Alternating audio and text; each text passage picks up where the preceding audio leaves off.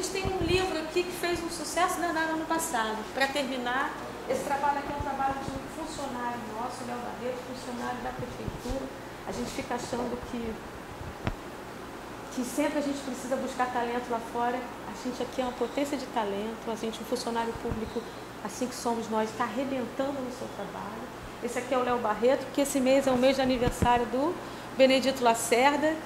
E aí você chega em casa e pergunta, eu tenho filhos de diferente idade, você pergunta, Mateus de 18, e o Télio Barreto, desculpa, e o Benedito Lacerda, mãe, vim você com essas histórias.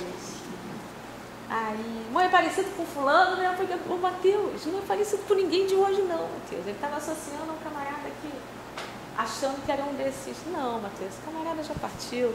Nada mais é que o grande compositor da música, que a gente tão pouco, tão pouco não, mas que a gente precisa divulgar mais. As crianças vêm aqui terças e quintas, num projeto de educação patrimonial, as escolas agendam, e hoje a nossa missão é fazer isso aqui, ó, leva lá para o seu filho e diz para ele que o Benedito Lacerda foi um camarada que fez muito pela música popular brasileira. Ele é macaense, passou por aqui, tem registro dele na Nova, na, na Nova Aurora, morou aqui pertinho de nós e tinha uma paixão enorme pela cidade. Então isso aqui é educação patrimonial que a gente acredita que tem que acontecer para que os taxistas que chegam aqui digam, mas a gente só fica falando na, na praia do motocoqueiro. Eu falei, ah, diz lá para o seu passageiro que tem Benedito Lacerda, que tem tanta coisa boa acontecendo. Então isso aqui é um texto, é um projeto que a gente tem.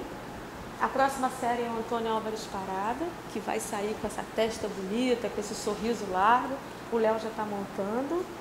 E a gente sempre referendo a uma historiografia atrás. Essa aqui é a Sônia Lapa, uma historiadora que faleceu ano passado, uma grande companheira que escreveu muito pela história, uma moça muito nova, vizinha nossa ali no Rio, e, e deixou esse material. É, é, é, a verdade dela, é a história dela sobre o Benedito Lacerda. No mais, tem um livrão aí que aí eu pedi para vocês virem aqui, a gente já vai partir está na hora.